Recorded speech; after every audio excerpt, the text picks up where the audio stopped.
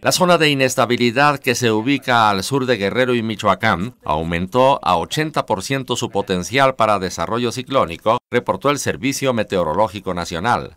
El organismo dependiente de la Comisión Nacional del Agua indicó en un aviso que Meteoro, un fenómeno que tiene lugar en la troposfera o en la superficie del globo, se encontraba a 380 kilómetros al sur de Lázaro Cárdenas, Michoacán. El organismo indicó que su desplazamiento actual es lento hacia el noroeste con vientos sostenidos de 35 kilómetros por hora y rachas de 45 kilómetros por hora. El Servicio Meteorológico exhortó a la población en general a extremar precauciones y atender las recomendaciones emitidas por las autoridades del Sistema Nacional de Protección Civil en cada entidad. Notimex